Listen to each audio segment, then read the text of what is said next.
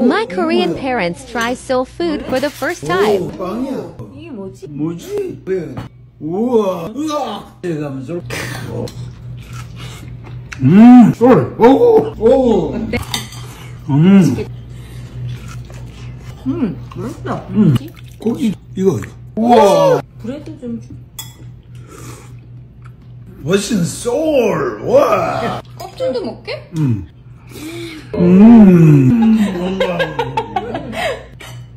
됐어. 아이 뭐. 희한한 맛. 우리나라 감자탕 같은데 향이 다른. 근데 감자탕인데 오리지널 같아.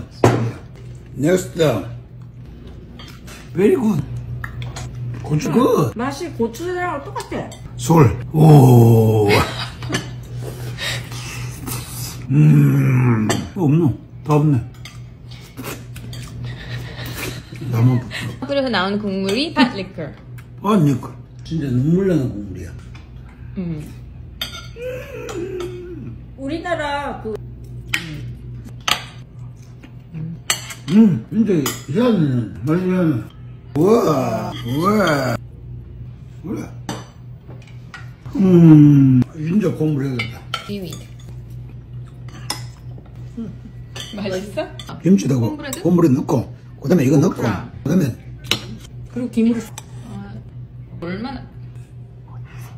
진짜 솔 같다, 솔. 응, 여기다가 밥을 넣으면 김밥. 우와. 우와. 칭 소울.